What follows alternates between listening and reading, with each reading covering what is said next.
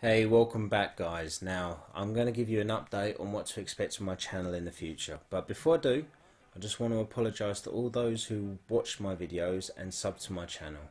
Now, I've been very absent over the past three months. I haven't delivered any content for you guys to enjoy, which I do apologise about.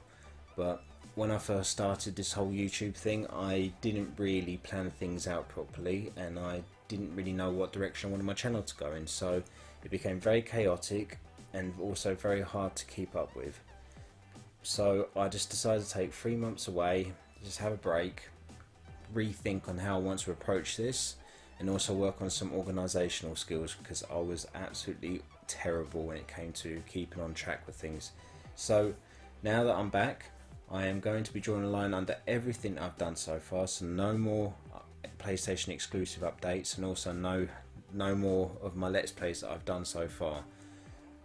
So with this, I'm going to be focusing my channel on sci-fi gaming for consoles. Now, this is something I've been wanting to do, and I think my message about wanting to do that came across very mixed with the other stuff I was covering, so I'm just going to be focusing on that.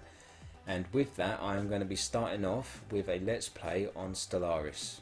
Now that's a game that I fell in love with the moment all this stuff in the world started happening and it kind of basically kept me sane in a sense. So I want to share this journey with you guys because it for me is a game that I've fallen in love with and I hope you guys get the same enthusiasm from me when I'm playing it.